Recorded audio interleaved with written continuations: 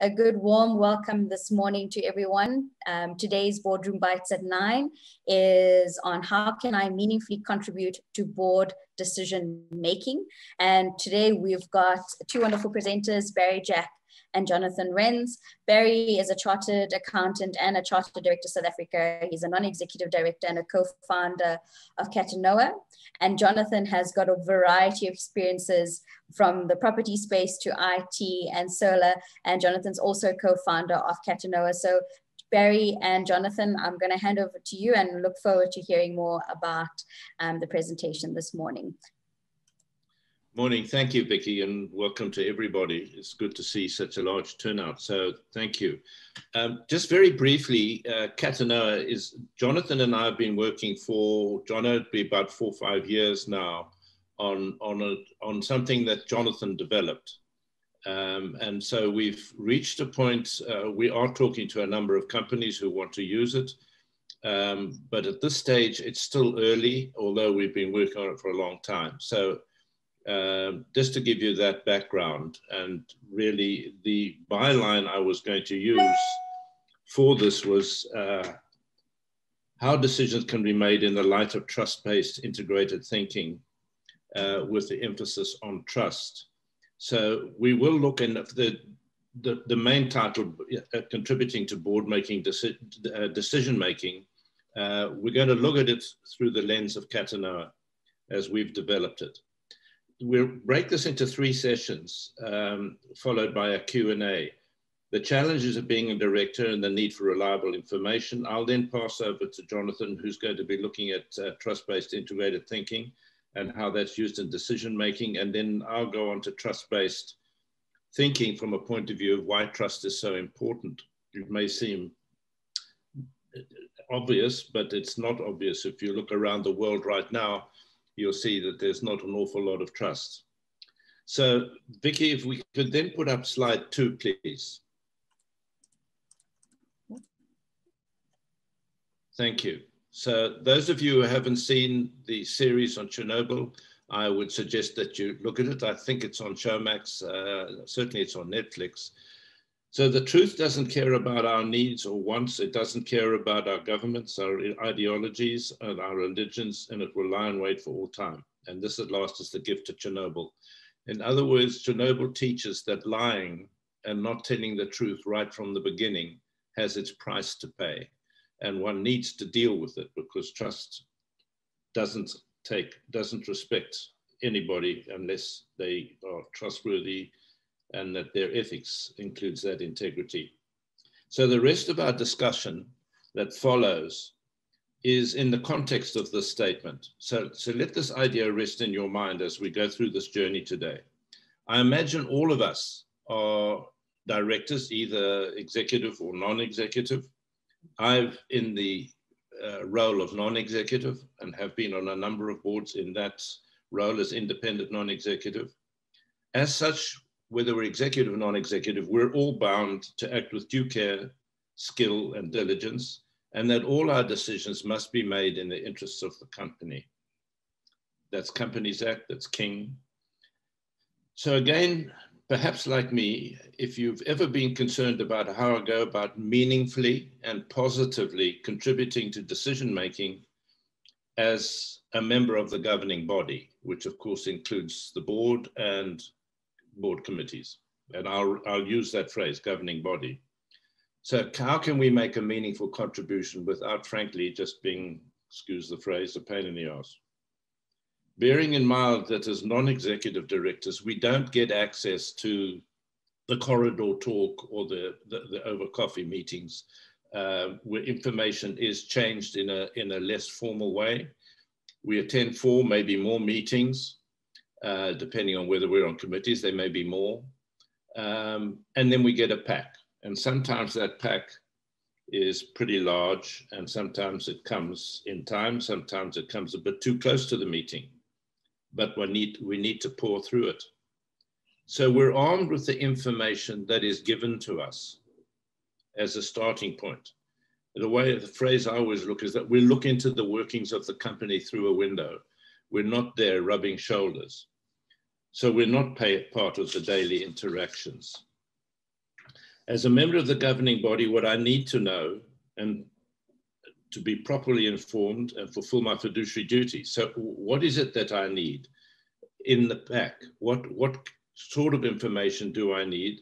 And as a non-exec, one of the things that has troubled me, and, and, and I, I was just looking through some of the participants and there are a couple of uh, current and former uh, colleagues on boards listening, what do I ask to make a meaningful contribution really without holding things up? And do I add value at the meetings?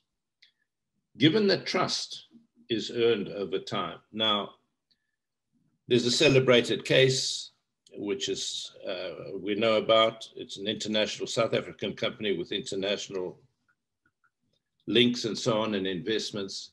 And I heard the chairman uh, being asked on the radio, how come you simply didn't pick up what the, the chief executive was doing. And his remarks were really quite informative. And he said, You must understand, I trusted him. Now, King, uh, the King Code calls for independent non executive directors and the balance of the board as is appropriate. You cannot go onto a board, any board, just trusting that everything is going to be fine, that you're going to be told the truth, that there'll be no problems in that regard because trust is earned over time. We know that in our personal capacities. So do we just automatically trust because we've been invited onto a board? Do we trust the executive and management team? And the answer there is no. It doesn't mean to say that you're adversarial. So when they're looking at a decision, how did they come to that recommendation to us to make a decision or to approve a decision as the governing body? What evidence or facts did they consider?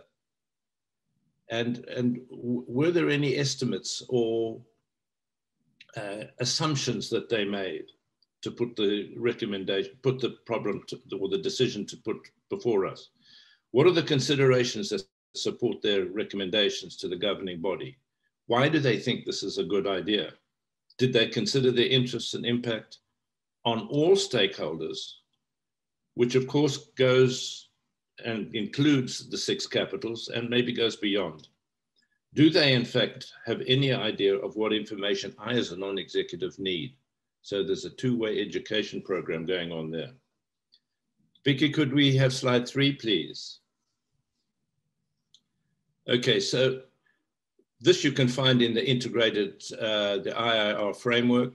Integrated thinking is active consideration now that's interesting, that phrase, because if you look at the Greek for katanoa, essentially it means seriously consider.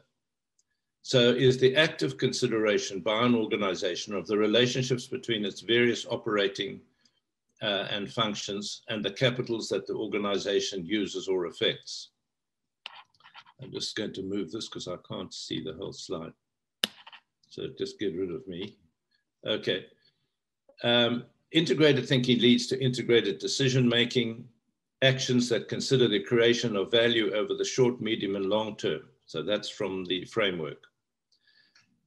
Since this is us now, since to be integrated means to have integrity or to be whole, it is not surprising that organizations struggle with integrity given the vagueness that exists around what integrated thinking practically looks like. The framework is, is excellent. It sets out, it's, it's under constant revision, of course. Um, but how do we go about acting on it and actually doing things? There's, the, there's no prescription there and no guidance in that sense. What does the King 4 say? In the forward to King 4, it says, King Forward, it says the reality is that the organized, that the resources and capitals used by organizations constantly interconnect and interrelate. The organization's reporting should reflect this interconnectedness and indicate how its activities affect and are affected by the six capital it uses in the triple context which it, in which it operates.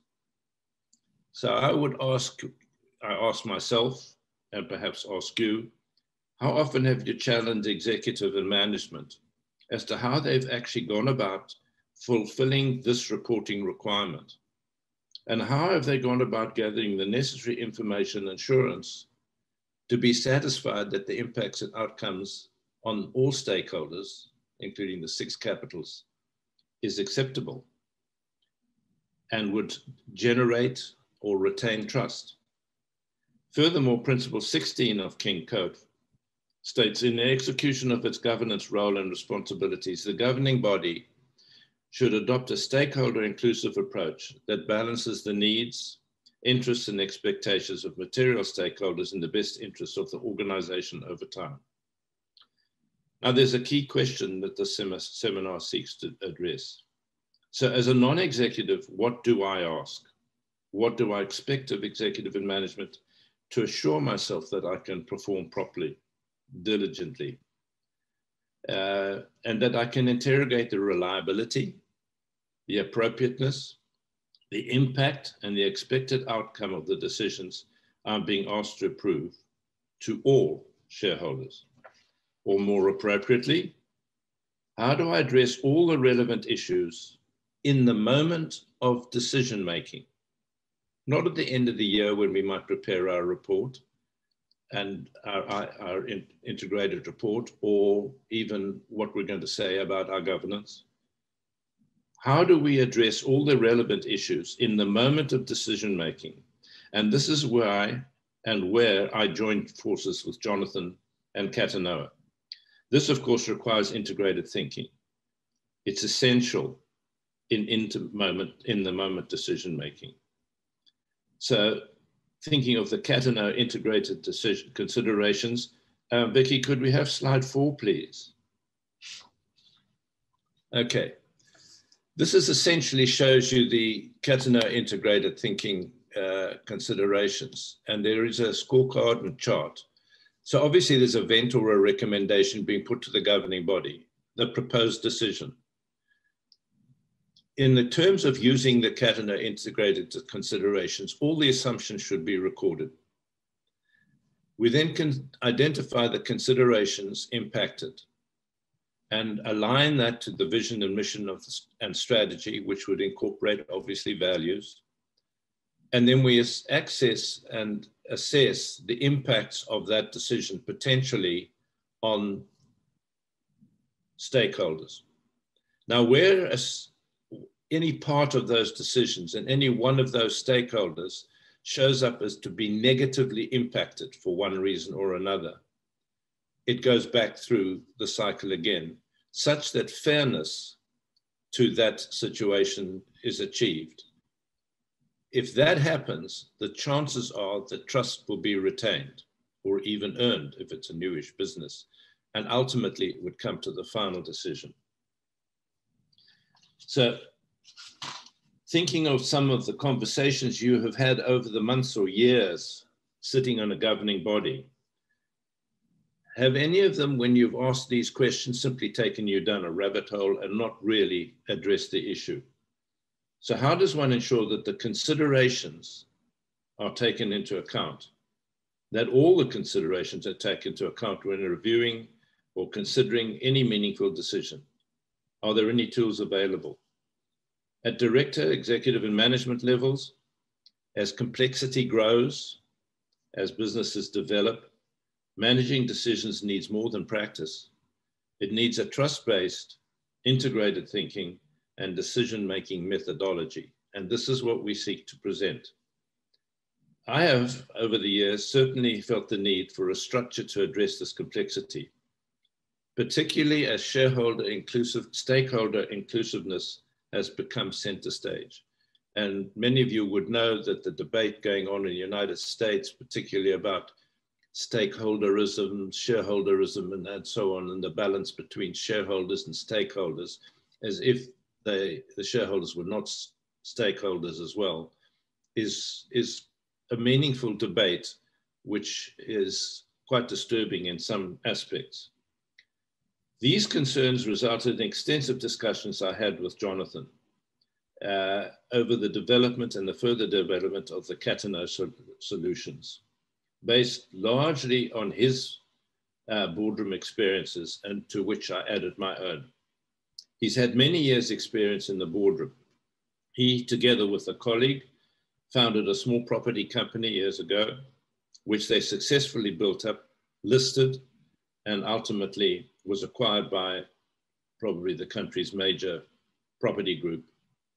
So it's at this stage then I would like to hand over to Jonathan. Jonathan, over to you. Hi, everybody. Yeah, I, th I think for me, the, um, the, the, whole idea of um, building a decision-making framework um, of integrated thinking.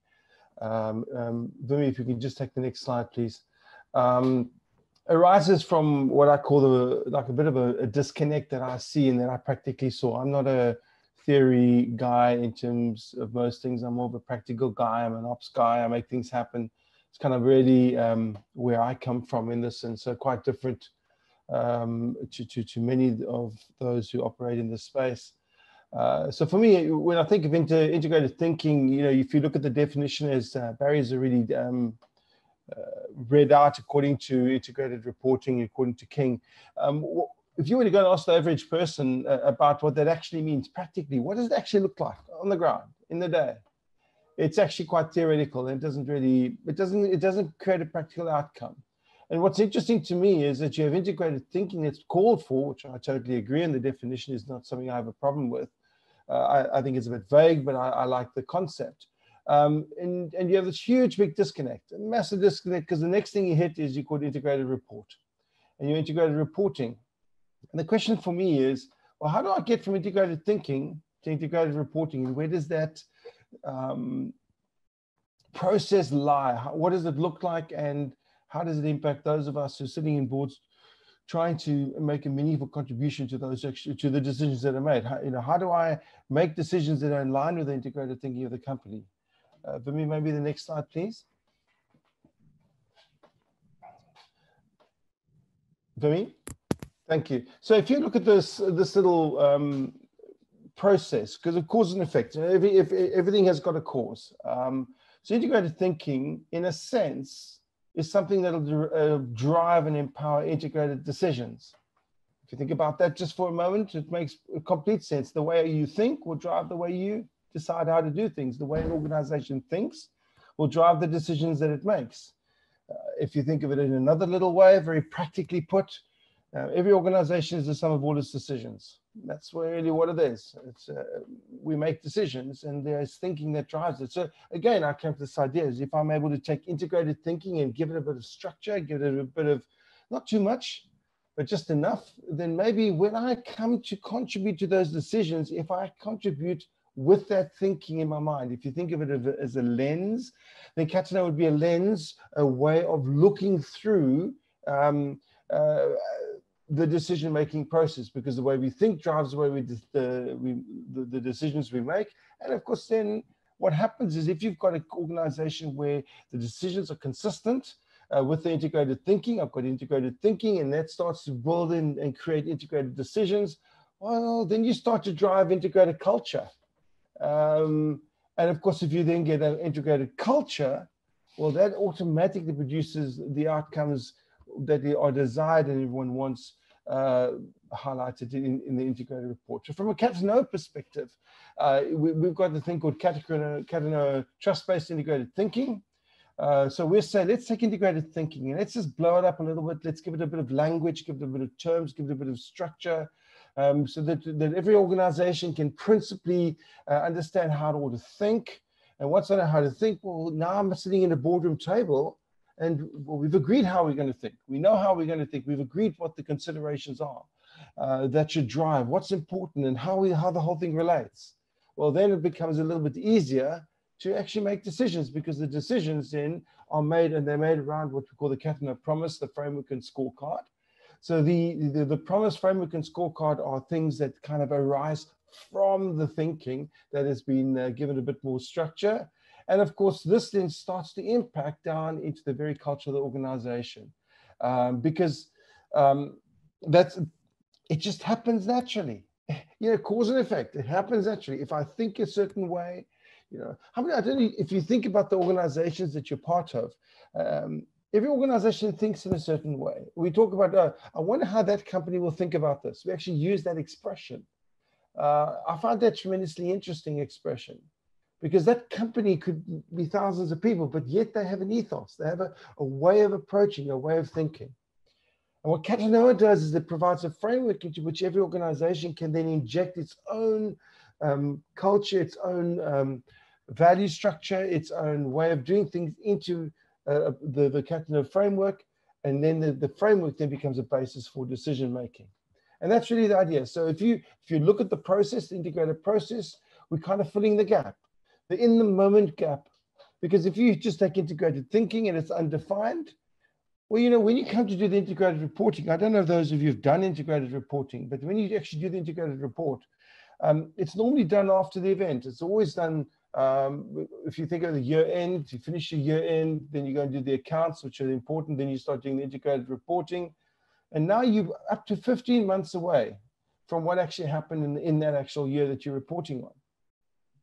And so to me, the thing is, if you're looking for integrated thinking to actually have an effect, it's got to have an effect in the moment throughout the organization. And you can't, it can't do that unless it's within the integrated, the, the thinking actually pushes itself into the organization through the decision-making processes of everybody, not just those at board, but everybody into the culture, into the report. So this is the idea that we're, we're investigating, this idea that we're trying to um, um, implement through Katanoe. Um, I think if you want to go to the next slide. So this is what you see in front of you here is the is the essence of the um, of, of the Katanoe thinking model, how we look at it. Um, you'll see that um, uh, you, you, in the center you've got uh, impact on trustworthy fairness. Uh, trustworthiness is is kind of like um, it's it's the thing that sits in the middle. And the questions that we ask is we ask is how does the the, the, the, the, proposed decision, imagine you have a decision. So you, you have a decision, you're sitting around the table, you want to talk about a decision X, whatever X happens to be. And you say, well, okay, what is the impact of the proposed recommendation of decision? Because every decision that needs to become is, is a recommendation. There's a series of events, a decision is required, and there's a recommendation. And the question then is simply this, and this is the question that drives Katanoe is, what is the impact of the proposal on? And the word on is all the different, um, all the different considerations, all the things that that decision could impact. And the question is, what is the impact of that proposed decision on? And so we say, well, on what? Okay, and the, so you, if you have a look at it, you've got three um, th th three uh, categories. The, the, the first category at the top is the impact on external stakeholders in society. So when you make a decision, there is the potential that that decision will impact and the trustworthiness of the company in respect of the, the, the external stakeholders in society. Those and by the external stakeholders in society, what we're really talking about is those things that sit outside the company. Okay.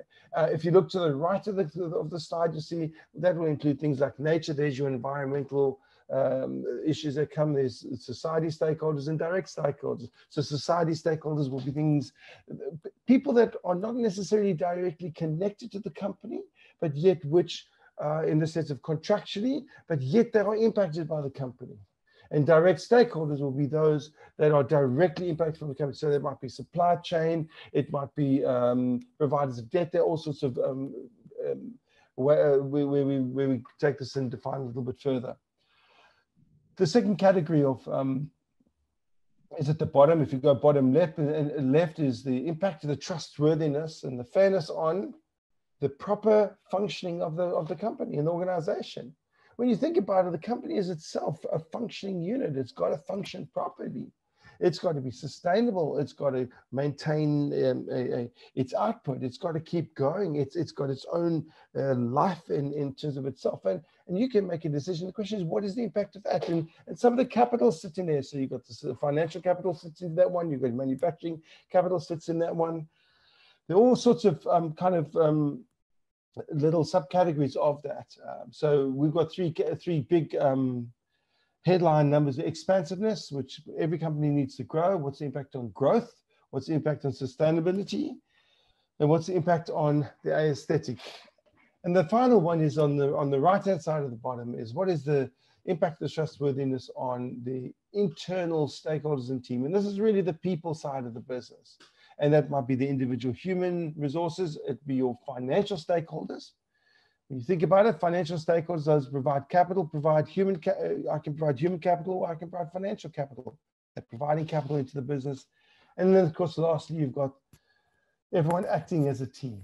So the whole idea here is that when you approach decision making, you look at uh, this holistically from um, from the perspective of saying, how does this decision impact the various output parts of the company, the various things that the company is going to um, uh, interact with and, and, and, and, be touched and, and touch and be touched by. And that's really the question. So, so Katanoe framework is about setting up the framework, identifying all the considerations, and then asking a simple question. So when you so when you're in the decision making, let's come back to the title. The title of this um, of this um, this talk today is really about and how do we make how do we contribute better?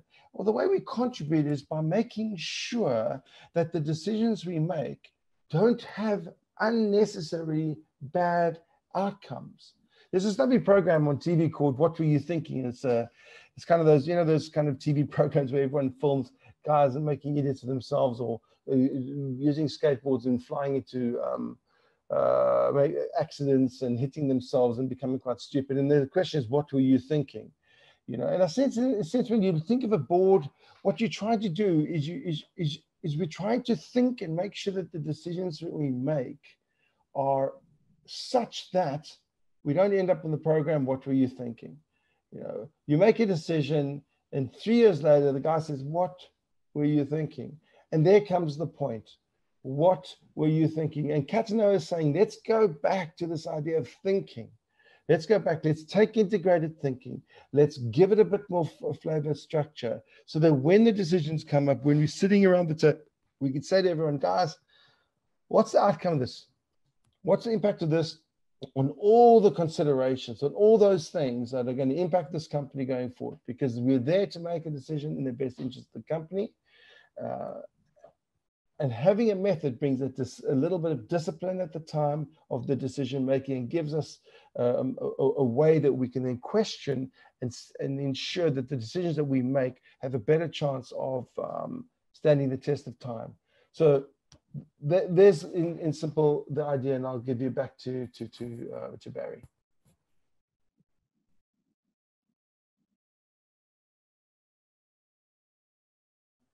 Barrie, you're on mute.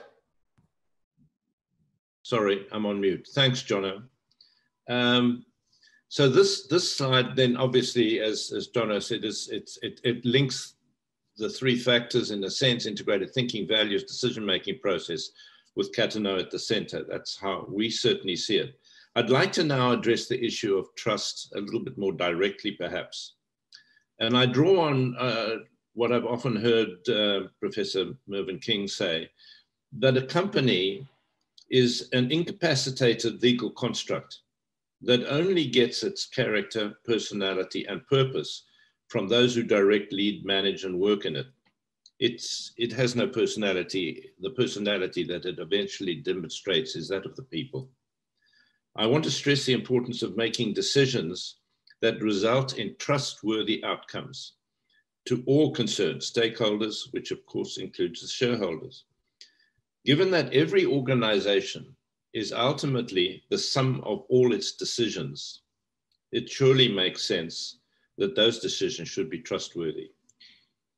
That I, as, as somebody who's living near a, a plant, may have nothing to do with that as a supplier or customer or, or, or uh, uh, even an employee, can trust that that company is not going to damage my lifestyle, my health, and so on by its products and its manufacturing processes.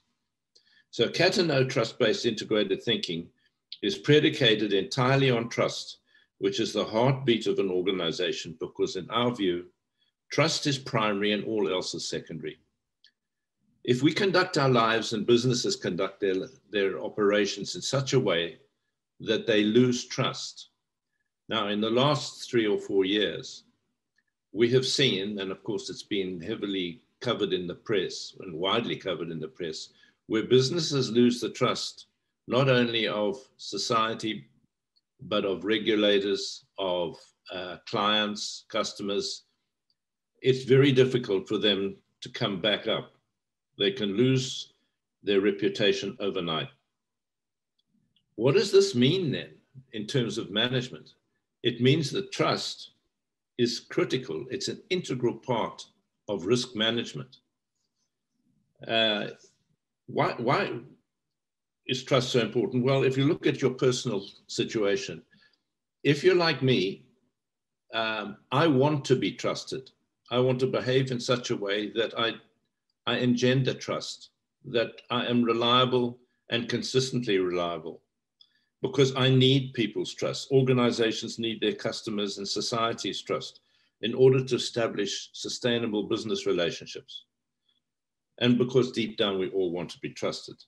And Jonathan's trust answered the question of trusted by whom.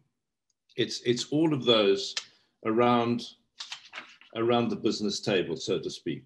Can we just have, please, Vicky, uh, slide nine? Okay, think beyond feelings at decision time.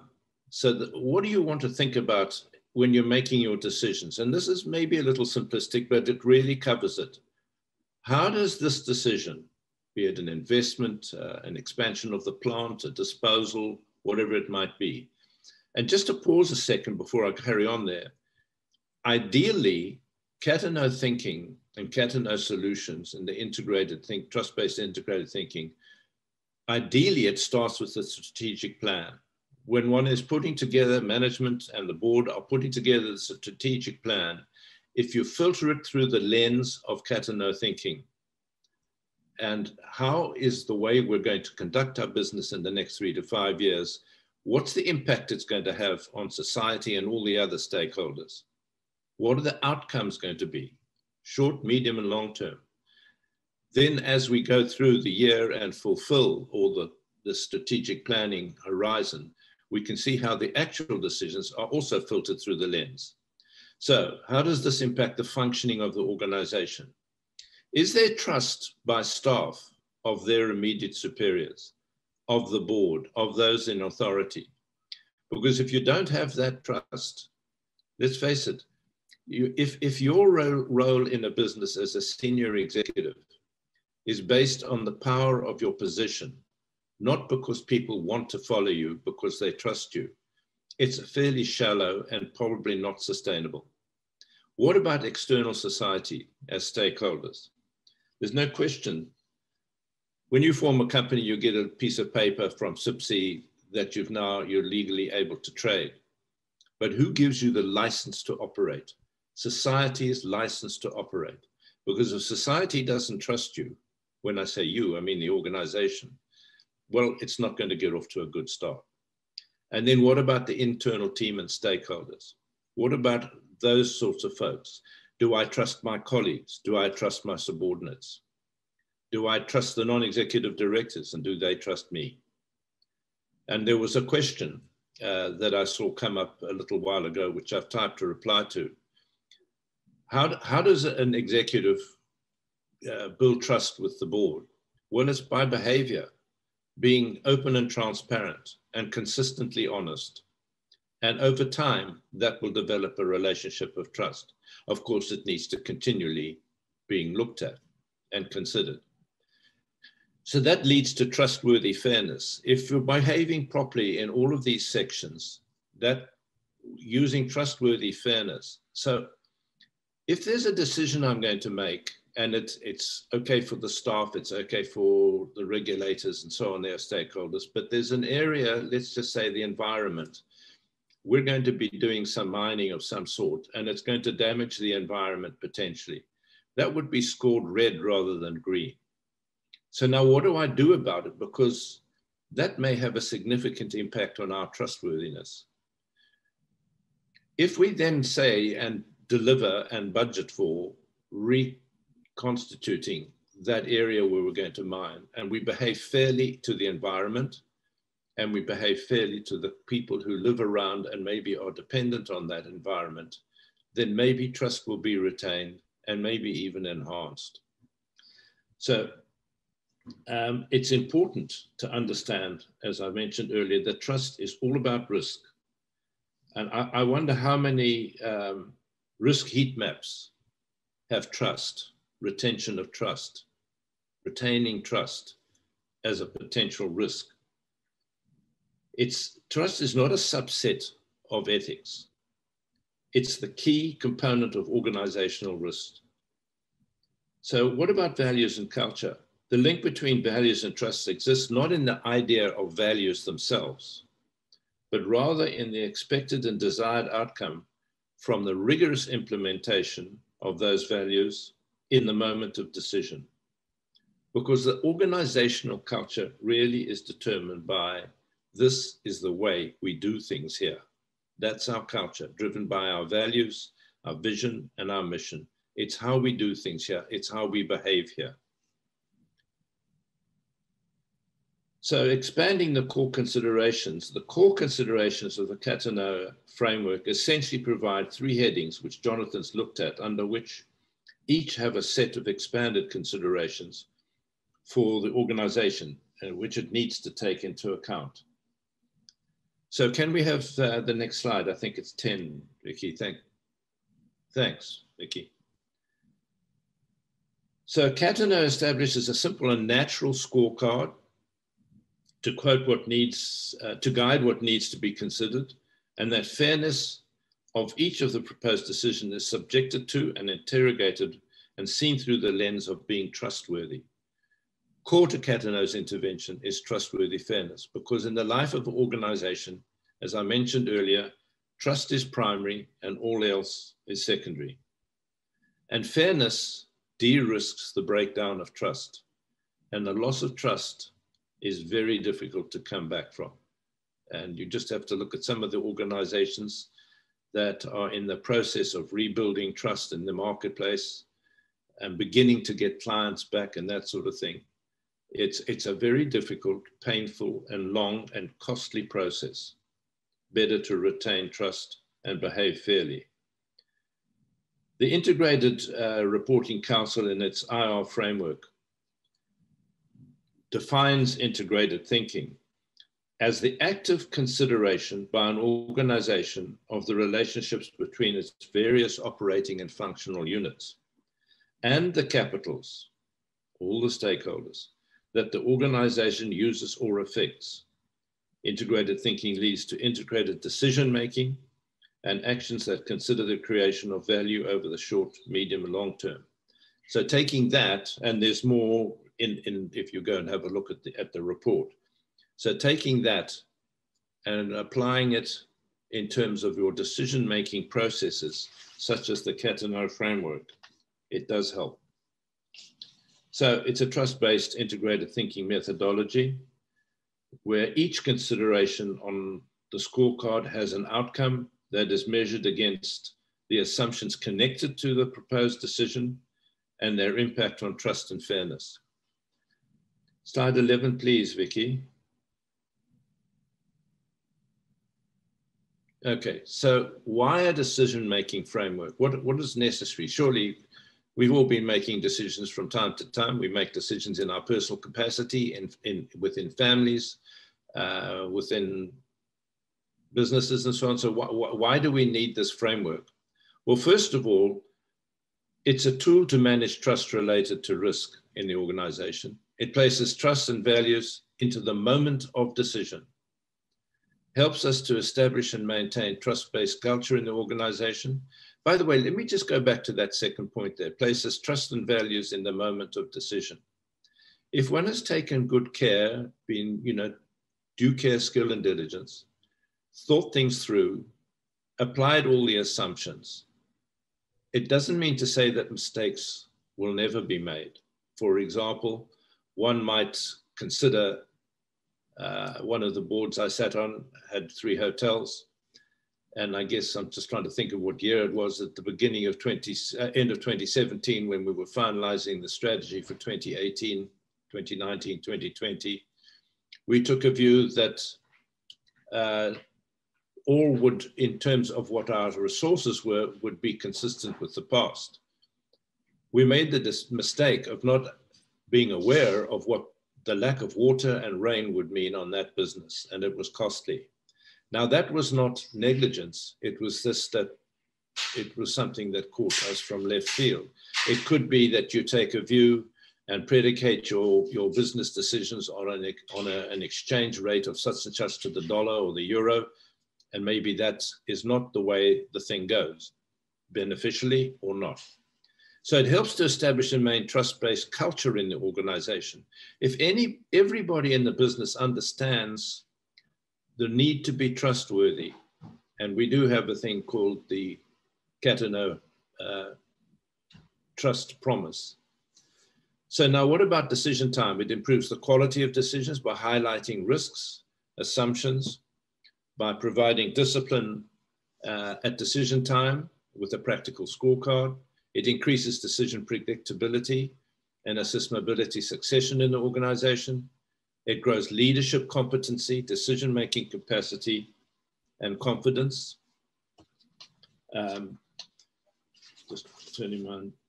Uh, and what about corporate governance? Well, it avoids false shareholder versus stakeholder dilemma because it considers all stakeholders. It helps non-executives consider, review, and provide better inputs in decisions decisions. It provides a comprehensive integrated thinking methodology that runs throughout the organization's decision-making, culture, and ultimately the integrated report. So that's pretty much, um, Vicky, where um, I think we've come to. Um, some final thoughts then, if I may, before we go to Q&A. Um, the purpose of this discussion was to consider how, as a non-executive director, can I be sure to have touched all the bases in satisfying my stewardship role to shareholders and the public interest, that staff, management, executive, and directors have considered all the appropriate issues to fully take account of the impact and expected outcomes of, on all stakeholders of a particular decision at the moment of decision making that I have reviewed and interrogated all the explanations and assumptions recorded in the Katanoe scorecard considerations. And obviously that would be a discussion. Receive the necessary explanations how the organization will manage any negative outcomes to mitigate the risk of trust downgrades such that fairness is assured and trust retained. So I don't know if Jonathan wants to add to that. That brings us to the end of the formal side. So we can go, Vicky, to Q&A. Thank you, Barrie. Um, just a reminder to anyone that's on this morning, if you'd like to ask a question live, um, please raise your hand and I'll assist the enable talk functionality so you can, you can also ask your questions live. Um, Barrie and Jonathan, um, so far what's in the Q&A, we've got a, um, I see, okay, I see that question has gone. Um, there was a question from Berenice and, and, Malcolm, but it says it was answered. Um, there's a question from Leslie. Um, thanks for sharing your ideas. Um, I like your thinking, but I'm a little concerned that this may be additional red tape and an added burden on management and the board. What is your thinking on this?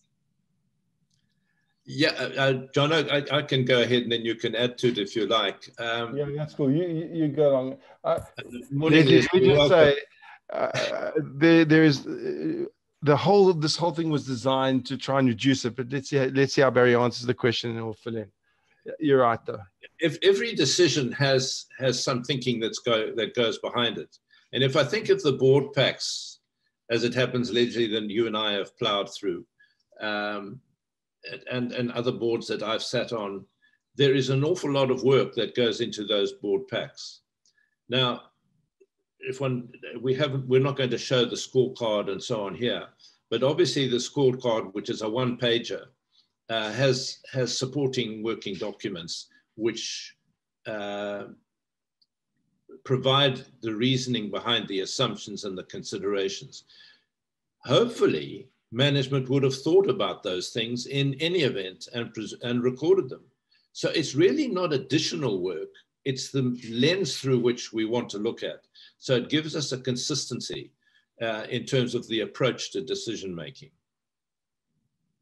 Jono? Yeah, I think that's exactly it. I mean, if, if, if you if, if I write a report, I, most of my time on board was from an exec side. So when I recommend a decision, I've got to motivate it, and motivating it must give you a sense of well, why, why is this a good decision? And when I say why is it a good decision, well, um, I've got to answer the good the, the, questions and I've got to give the assumptions um, that I'm making. So all, all Katanoe does is give a framework into which each, um, so it gives a framework um, into which the, the recommendation is then plugged into. So you, I'm forced to say, well, okay, I've thought of all the points. There, I think there are 27 in total. Uh, you know, yes, no, do they impact?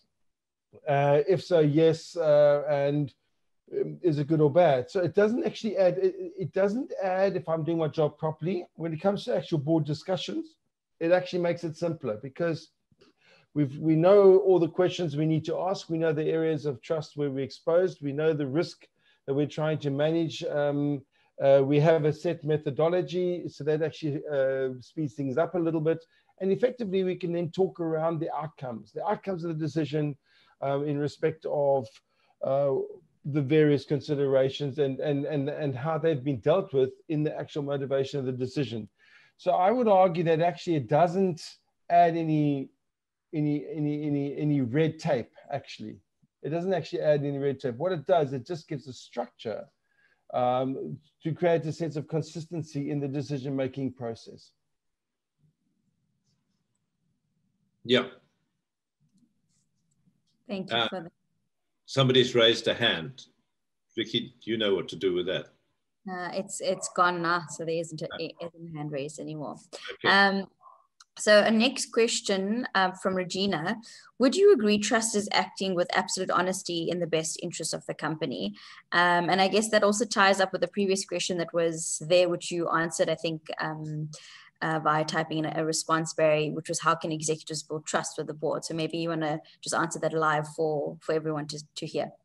Yeah, uh, it, it, trust is I think if, if we look at uh, Eugene's comment, to, he, he, one of the things he says is that trust, we know that trust and a trust culture is a, is a very fragile thing and it needs to be constantly reinforced. So it's constant behavior um, you know, where we, we don't let ourselves and others down by, by making decisions or behaving in a manner that is not trustworthy. It's, it needs to be embedded in the organization.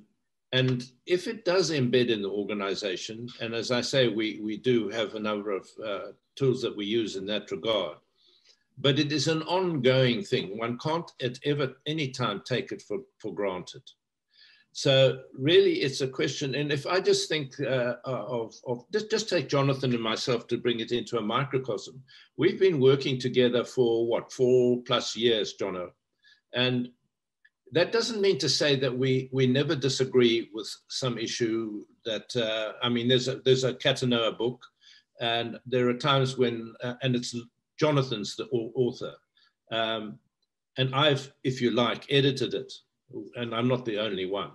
But there are times where I've said, I'm having a difficulty with this paragraph. Uh, I, I don't necessarily agree with it. And then we're open and transparent with each other as to why we want to say that and what the basis is.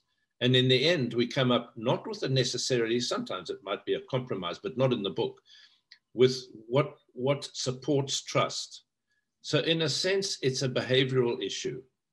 And if somebody is behaving in a non trustworthy basis, one has to think about how one is going to deal with that. And if you're on the board and, and you're someone who is uh, not being trustworthy, frankly, the rest have to call them out. We know this about the delinquent director and that's that sort of stuff. And uh, I think it's PwC have written a paper on from the uh, CGN, the Corporate Governance Network, on delinquent directors.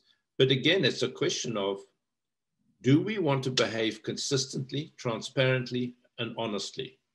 Do we have integrity? And do we live our lives that way? And it's by demonstration. How do I know that somebody is trustworthy when I first meet them? I don't. I might like the look of their eyes or the way they stand or their posture or the way they look. But I have, they have to earn that trust in the relationship over a period of time. I may decide to to trust them immediately because I have a, a sense or a feeling, but that's not what we're talking about here. We need to think the things through. So trust is fragile and it needs to constantly be viewed. Jonah? Yeah, I, th- I think to me the problem with trust is that we, when you make decisions, you often are forced, you have these dilemmas where, practically speaking, between a rock and a hard place, and, and it's not always easy. Um, we we put up the the whole Chernobyl thing about truth. Um, you know, every and I think we, we, I'm not trying to in this whole discussion make things simpler. When you make a promise, and every organization makes a promise of some kind, and you deliver against the promise, then you have integrity. That is what integrity is. Integrity is you promise X and you deliver X. Now, that's not always that simple because there's issues of, de of defining things. But the reality is that when we make decisions that seek to um, almost pretend that we can hide certain stuff, so we give the appearance, we always want to be seen to be trustworthy. I mean, that's the that's the reality. We want to be the good guys. Everyone, we want to say this is the company that is just doing what it's supposed to be doing. And then we've got some stuff happening in the background. The reality is that, and that's that Chernobyl quote we put in the in the front, is that stuff will come out. Okay. You know, the, another quote from Chernobyl is every every lie every, every lie we tell um, is a debt to the truth that someday is going to be repaid. It's just a fantastic quote. And I think that's the point that we're trying to say is if we put trust in the forefront of our decision making, then, then the reality is we should be, not guaranteed, we should be in a better place to say, you know what, we can't cut corners here. If there's something in the room we have to deal with, we've got to deal with it. Because otherwise it's going to come back. And when it comes back, the, the, the damage that that causes, and that's really why this is, sits into the issue of not so much ethics, but managing of risk. Because managing trust is managing risk. Because if I remain trustworthy, I have a low risk profile. It's as simple as that. Yeah, yeah. Um, and uh, Jonah and Vicky, um, Eugene has asked a question. Um, what's, what would some controls be that could be implemented to ensure that trust-based culture is fostered? trust is not something that you control. I, I, I, couldn't say to you, Eugene, you have to be trustworthy. I, I can't say that to you. You have to, you have to demonstrate, frankly, to me that you're trustworthy. I can't put a control in that place. It's a question of, as you've mentioned in there, as I won't read your whole question, that really it starts with the tone from the top uh, and as the, the governing body, if there's if it's visible, they behave in a trustworthy way with all the things that Jonathan's just said, then that will tend to embed through the organization top down. And there's also we do a trust workshop which starts with with uh, from the bottom up. So there is guidance as to what this means, but there can't be controls. Frankly, I don't see how you control that. And Maybe Jonathan wants to add that, but I can just, uh, Bernice has asked a question about what do we mean by fairness? I uh, just use an example of what I've been wrestling with, and Jonathan knows this. I've been having a problem at my home with, uh, with my swimming pool. And the guys came along uh, and I, they'd been recommended to me and they said, this is what we do and that will solve your problem. Well, they came along and did it and it didn't solve the problem. So I phoned them a couple of days later once I tested it and I found that actually nothing, that there was no solution to this extensive work they'd done. And the chief executive phoned me back and he said, we'll stand by what we promised and we will carry on fixing that until such time as you are satisfied. In other words, we're going to treat you fairly against our promise and we will deliver that. Now, he said also, I appreciate that this is inconvenient for you, but nevertheless, we will treat you fairly and do all we can to live up to our promise so that trust is, he didn't say this, so that trust is retained, but effectively that's what it is. So let me just go back to that point. I want to talk about fairness. It's a great question, the question of fairness. Yeah. It is the question, by the way. And I'm glad it was picked up. But just to the bottom line, bottom line, is just if the, the, the concept of making clear promises and delivering on them starts at the top. Okay. It just starts at the top and goes down. Because if there's a little bit of nudge and a wink and a, and and and and people were promising things and they're not being delivered, we're promising ourselves and we're not delivering, we're promising our customer and we're not delivering. There's always a shortcut because you know what that will perv it'll be said, well, that's how that's how, look at it this way. You can have whatever values you like on the wall, okay. What people actually do will be the culture of the organization. So you can say we're trustworthy, but if you, but what you are, you know, will be what you are, no matter what you say you are.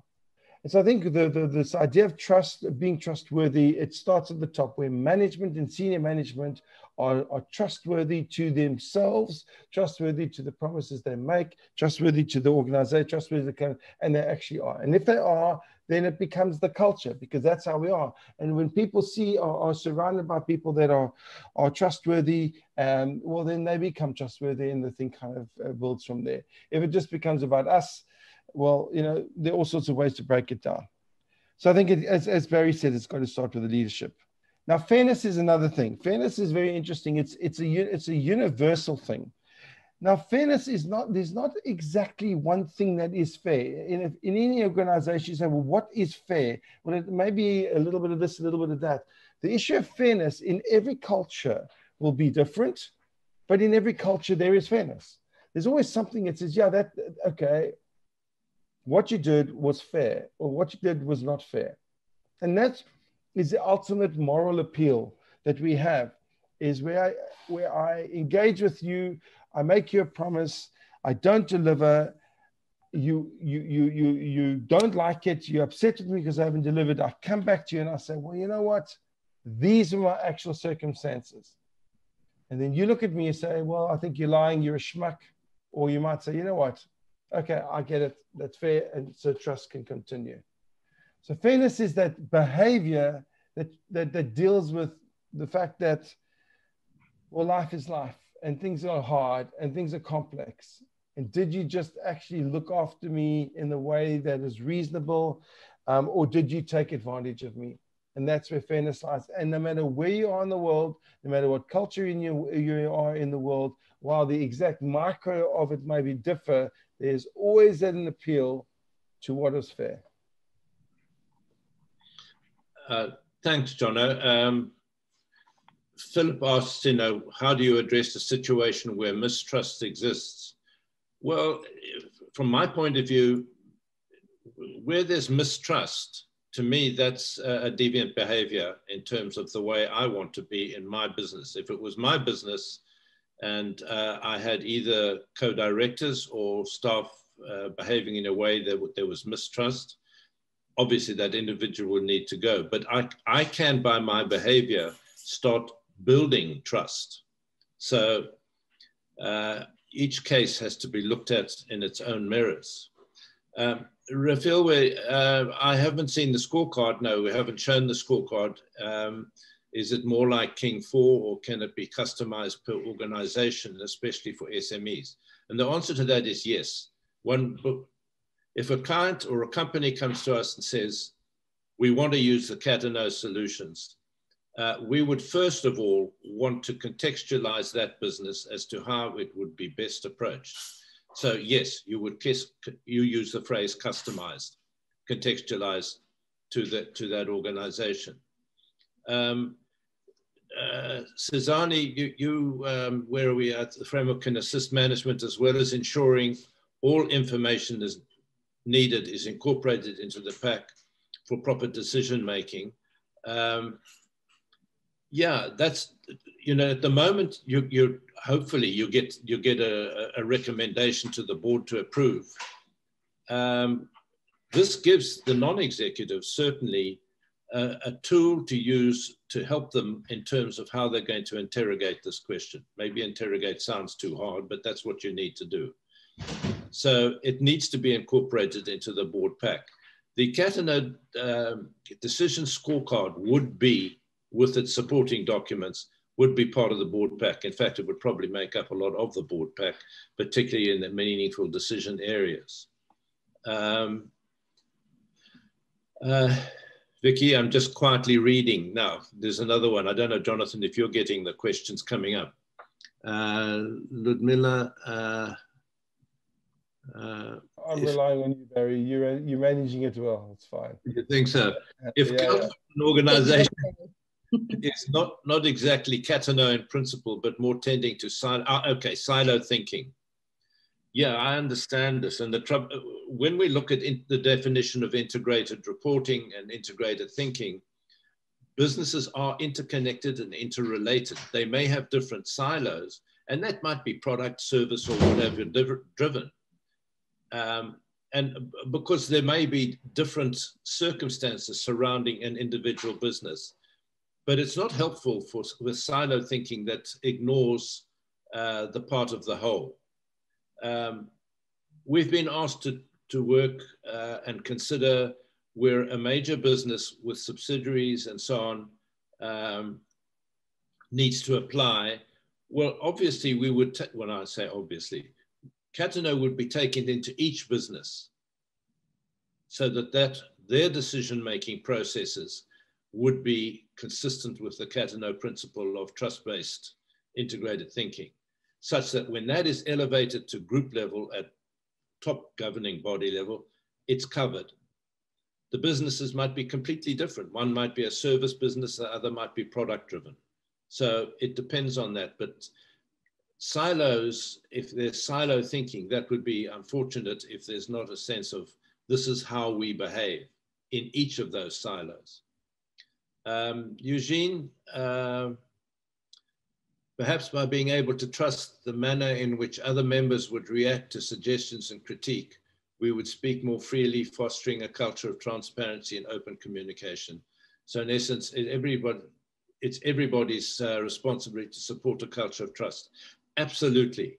And that means that we have to respect one another. And the way we talk to each other is crucial uh, there needs to be respect for trust to survive, frankly, and that's that's just a given. Uh, Eugene, you and I would need to behave towards one another with respect in order for us to continue a trusting relationship. Vicky, I see you've put your, your, your camera on, which is obviously saying to me, it's time for you to shut up. not, not at all, Barrie, but we have reached 10 o'clock and I do see a lot of our members are commenting that they unfortunately need to leave. Yeah. Um, there's not many uh, questions I think left in the, the Q&A and most of them have been around um, trust and, and building trust. I think you've I think you've covered the point um, well enough. Um, I, th I, think the maybe the one main question on here that is potentially different from the others and, and is more for a direct question was around how do I build trust in, a, in, a, in an organization where employees have lost trust in management due to disconnect between shareholders and the management? You know, how do you bridge the gap? But I think you have covered that to some degree, Barrie. But I don't know if you have I any more so. Yeah, yeah. It's, so, it's, it's a process. Yeah. It is. So Barrie and Jonathan, I think that brings us to an end to this morning session. Thank you so much for your time. Um, I can see from the comments that the attendees found it very informative and, and, a great discussion. So, so much for sharing this. Your details are on the screen. We will share the slides and the recording to everyone that attended via email. Um, and you'll also then be able to get the contact details for Barrie and Jonathan if you'd like to get in, in touch with them and discuss more about um, the scorecard that they've developed. Um, and we'll also have both the slides and the webinar recording on our website and YouTube channel. So it will be freely available to all. So you're more than welcome. Thank you very much. Find that there. Thanks, Thanks everyone. Thank you. Oh, and Vicky, if I may, I just want to express my appreciation to University of Stellenbosch's Business School, who connected with uh, Sherma and yourselves, and the outcome was today. So thank you to them. Thank you, Jared. Thank you, Barrie. Thank you, Jonathan. To everyone else, we will see thank you, you everyone. All, um, next week. We've got two more sessions. Uh, well, no, actually, I think next week is our last session of our boardroom bites at nine. We'll be taking a break for December and we'll start again in the new year. So enjoy the rest of the week, everyone. Bye All the, the season. Bye-bye.